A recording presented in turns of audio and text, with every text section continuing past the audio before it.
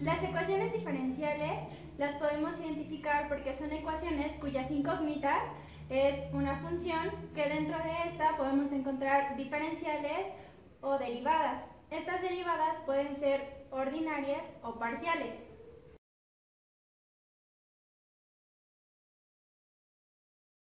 Al ser una ecuación, aplican las mismas propiedades de las ecuaciones.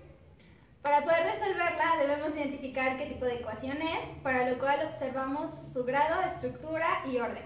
Ya que identificamos qué tipo de ecuación es, aplicamos un método correspondiente y el resultado que obtendremos será el comportamiento de esta función.